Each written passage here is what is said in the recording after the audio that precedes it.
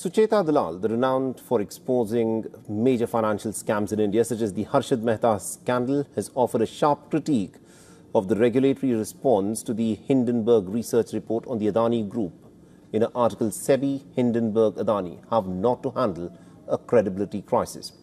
Her deep understanding of India's financial systems and her authoritative voice make her insights particularly relevant in assessing the fallout from this controversy. Sucheta Dalal has criticized the Securities and Exchange Board of India for its mishandling of the crisis, starting with its lack of transparency and delayed response. She's further argued that SEBI's initial denial of the allegations without a proper investigation had undermined its credibility and had raised concerns about the regulator's impartiality and effectiveness, which was one of the key points that Dalal emphasized as SEBI's failure to communicate effectively with the public and the investors. The SEBI's silence and vague statements allowed misinformation and speculation to spread, further eroding trust in the Indian financial system.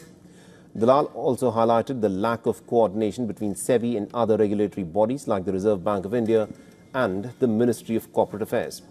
Now, the disjointed response that she argues has deepened the crisis and has exposed the regulatory inefficiencies.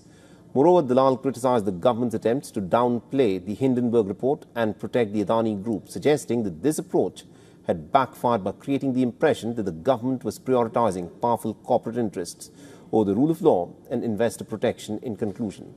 Now, Dalal has further asserted that the SEBI Hindenburg Adani crisis illustrates how not to manage a credibility crisis, and she's called for a more transparent, proactive, and coordinated approach from regulators and the government to avoid long term damage to India's financial markets and its global reputation.